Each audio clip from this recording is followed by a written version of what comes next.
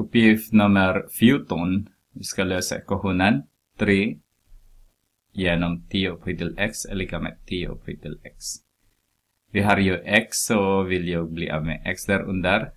Nämnaren menade jag. Så multiplicerar jag båda led med 10 upphöjt till x. Den här blir 1 nu så har jag 3 är lika med 10 upphöjt till x plus x. Det blir 2x.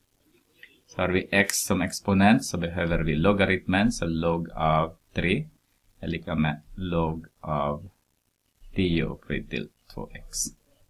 Den går ner. Så har jag log av 3 är lika med 2x.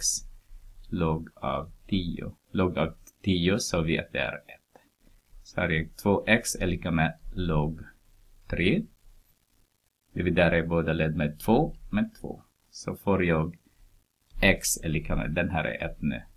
Log av 3 dividerat med 2. Och vi skulle svara exakt.